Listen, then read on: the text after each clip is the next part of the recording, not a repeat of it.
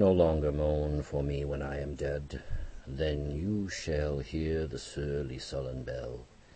Give warning to the world that I am fled From this vile world with vilest worms to dwell.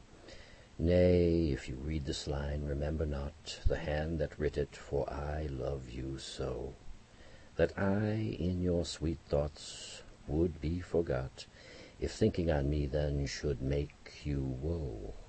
Oh, if, I say, you look upon this verse When I, perhaps, compounded am with clay, Do not so much as my poor name rehearse, But let your love even with my life decay, Lest the wise world should look into your moan And mock you with me after I am gone.